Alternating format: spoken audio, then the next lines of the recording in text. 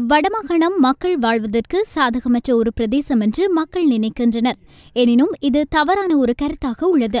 வடமாகாணம் இலங்கையில் பல வகையான நன்மைகளை தரக்கூடிய ஒரு பிரதேசம் என்று வடமாகாண ஆளுநர் ரெஜினோல் குரே தெரிவித்துள்ளார்.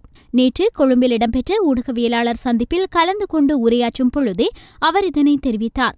இது குறித்து அவர் மேலும் குறிப்பிடுகையில்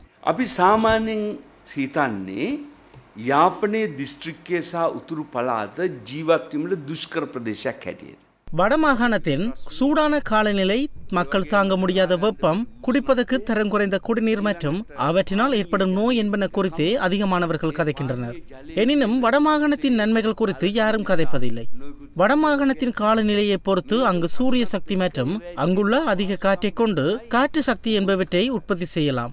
சூழலுக்கு எந்தவித பாதிப்பும் இல்லாத இந்த உற்பத்திகளினால் நாட்டிற்கு பல பயன்களை பெறலாம். அதே போன்ற ஒரு முக்கிய விடயம்தான் நமது நாட்டை சுற்றி கடலை வைத்துக்கொண்டு உப்பினை வெளிநாடுகளில் இருந்து கொண்டு வருகின்றோம். எனினும் வடக்கில் நிலவும் காலநிலை உப்பு தயாரிப்பை மேற்கொள்ள உகந்த விதத்தில் உள்ளது.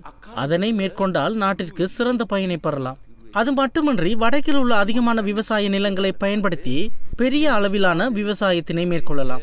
மேலும் வடக்கு மக்கள் தொகையில் மூன்றில் ஒரு தொகை அளவில் அங்கு பசுக்கள் இருக்கின்றன. அவற்றை பயன்படுத்தி பால் உற்பத்தியினை விரிவுபடுத்தலாம். இவற்றை தவிர இரசாயன தயாரிப்புகளையும் அதிகமாக வடக்கில் மேற்கொள்ளலாம்.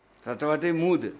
தேனிசா அப்படி கல்பனா கரணும் எலிஃபன்ட் பாஸ்ல பராந்தன்வல லுணுலேவாயன் சக்ரிய கிரியமிங் அப்படி விசால் ஏ ஆசிரித்துவ නොයකුත් රසායනික ද්‍රව්‍ය නිෂ්පාදනය කරන්න පුළුවන්.